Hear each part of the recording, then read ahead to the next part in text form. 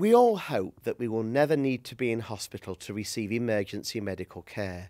But today is about the unsung heroes who make sure that those charged with our care have all of the necessary supplies that they need to give us the best possible care when we need it most. We, uh, we deliver blood, of course, being blood bikes. We'd like to do that. We also deliver any of its products, um, surgical instruments, pharmaceutical products, uh, x-rays and notes are our main carriers.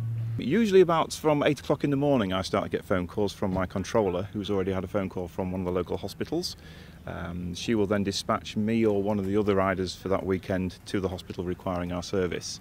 So it would be uh, suit on as quickly as possible, get onto the bike, go to the calling hospital, pick up what they need, take it to the, to the delivering hospital and then to get that signed off and then away we go for the next call. Uh, we have a fleet of uh, motorcycles and cars uh, and they're fully insured to do the work we need them to do. It does cost a lot of money but fortunately the public in the areas we work in are very very charitable and very um, very good at uh, donating money to us as every single penny that we collect on a charitable day works well for us and is needed.